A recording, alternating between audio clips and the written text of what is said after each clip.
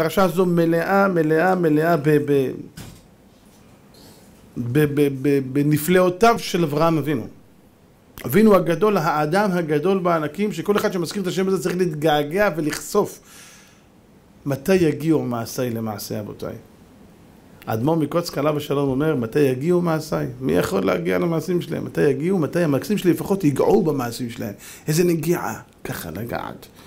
קצת, איזה נגיעה. לא, אל תגיע, נגיעה, לפחות ניגע. מתי יגיעו מעשיי? רבותיי, הסתכל על הענק הזה. אדם עם עקרונות, אדם עם, עם מעוף, אדם עם אחריות לא כלפי עצמו רק אלא כלפי העולם כולו, ממש מרגיש כאילו העולם שלו. וכך צריך האדם להרגיש. להרגיש אחריות לא רק על עצמו, כלפי העולם כולו. וחז"ל לימדו אותנו, שאדם שיכול למחות באנשי ביתו ולא מחה, נתפס על אנשי ביתו. למה לא מחית בהם? למה לא עוררת אותם בתשובה? שאדם, ואדם שיכול למחות באנשי עירו, יתאפס על אנשי עירו. הגמרא מספרת, מסכת שבת. אמרו עליה על פרתו של רבי אלעזר בן עזריה שהייתה יוצאת ברצועה שבין קרניה בשבת שלא ברצון חכמים. זה לשון המשנה.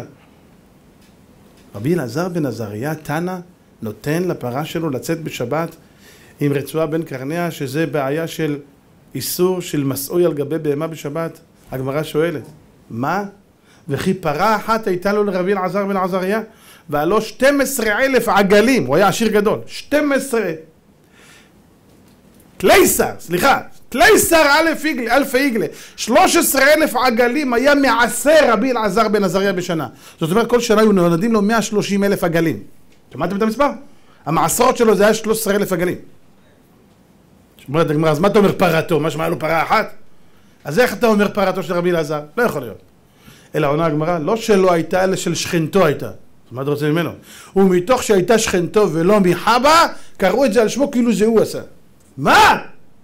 ראית מישהו עושה עבירה ואתה לא אומר לו כלום? זה כאילו אתה. מי שיכול למחות באנשי עירו ואינו מוחל, נתפס על כל אנשי עירו. על מדינתו, מדינתו. כל העולם נתפס על כל העולם כולו. מרן הרב, עובדיה עליו השלום, זכותי להגן על כל ישראל, שאנחנו עדיין צמודים להילולה של הענק והענקים הזה. למה הטהור הזה שהיה בדור שלנו, ראש כל בני הגולה, האבא של הדור, אין דברים כאלה, אין דברים כאלה, אין, אין. רק להזכיר את השם שלו צריך לרעוד. הבן שלו רואה אותו, עושה וידוי. בסליחות, ביום הכיפורים. ביטלנו תורתך ימים ולילות. בוכה.